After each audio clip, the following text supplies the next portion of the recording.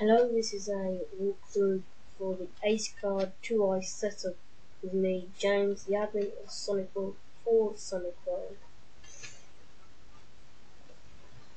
And the first thing I want you to do is go to the internet.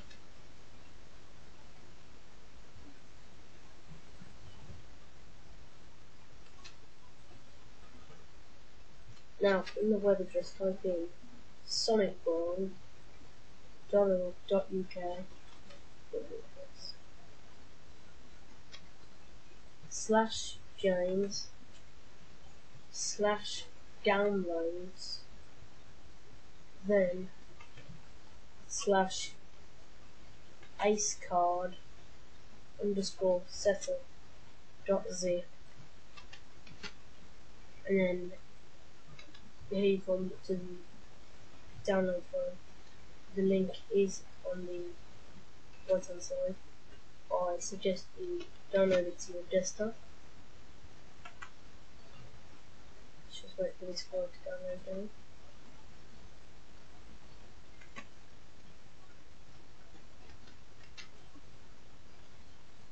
Remember, if you have updated your DSi to with 1.4 Acekard 2 won't work unless you use this the use the update file for the Acekard 2R. Okay, here we go then. Right, I'm gonna open this zip, and this really in the basic. If you have got XP or Vista, um, or even 7, it, it, there is an extract wizard through Windows Explorer just extract the files now. Right, they've been extracted to my desktop. You can do it to your documents or wherever you like. Okay, here they are. it comes with a basic um, two underscore um, a whatever it is, and this comes with the basic acekard setup. and you've got the Acekard menu NDS file.